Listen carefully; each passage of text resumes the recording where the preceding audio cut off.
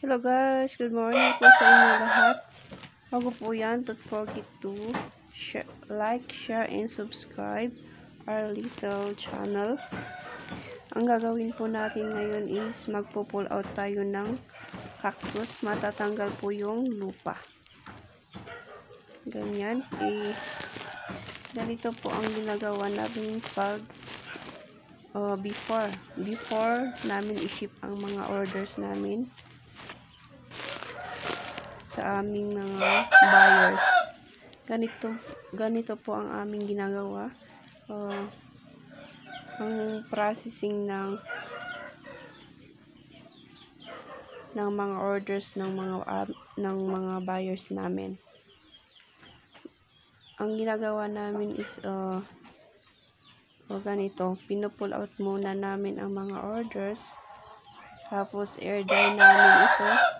Tapos yung yung mga hindi pa, hindi natanggal masyado is na, binabrush namin before we ship our uh,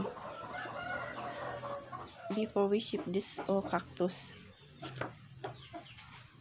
Marami pong ginagawa ginagawa pag uh, siniship namin. Hindi hindi namin agad uh, siniship yung mga order orders ng cactus. Kaya gan ganito po ang ginagawa namin muna.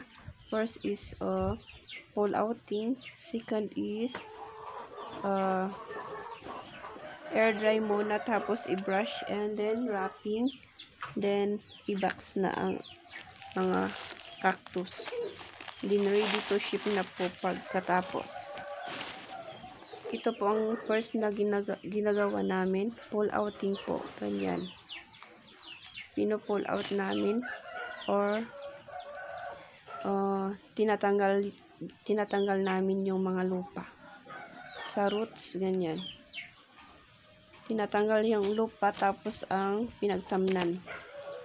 Ganyan na ang kinalalabasan. Ganyan po ang ginagawa namin guys. Kaya kaya tutok ng tutok. Sa next na gagawin namin is uh, air drying muna. Sa air dry na air dry natin sa uh, under the sun or sa lilim. Sa yung hindi direct to the sun para hindi masyadong mainitan.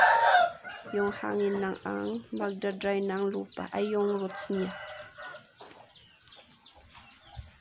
O, yan po muna ang ating uh,